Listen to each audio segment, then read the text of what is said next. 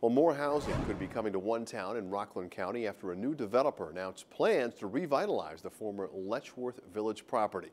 News 12's Jonathan Gordon was at tonight's Stony Point Town Board meeting. And Jonathan, what was the reaction from the residents?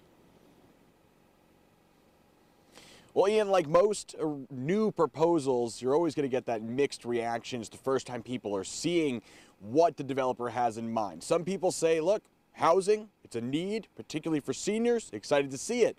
Others say that they have a lot of questions and they're not so sure until they get those answers.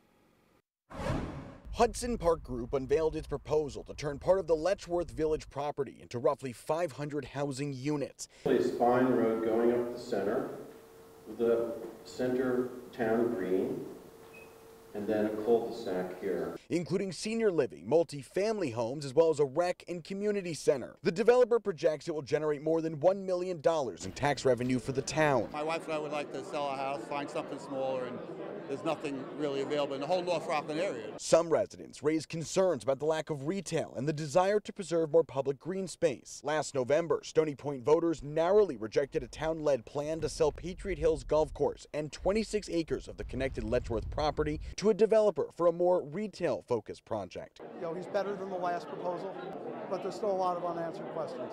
This newest proposal does not include selling the golf course, but will require some maneuvering of a few holes. The proposal would still go before the planning board and an environmental review if it moves forward. So Jonathan Letchworth's property has laid barren since the late 90s. How will the developer clean it up? Well, Ian, you saw some of those images of what the property looks like. It's certainly in disarray. Developer says it's going to be a major task. They expect it to cost about $10 million to do all that remediation work. And of course, remember some of the uh, materials, it's toxic, you can't breathe it in. It's going to be under the very strict eye of the state environmental department when they eventually get to do that work. Send it back to you.